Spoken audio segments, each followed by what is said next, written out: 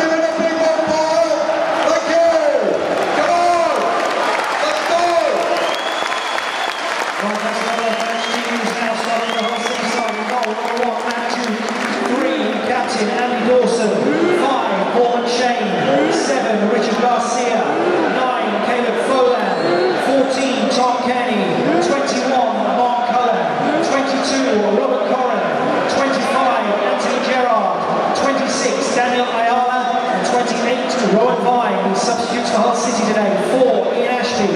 11, Kevin Kilbane, 12, John Bostock. 13,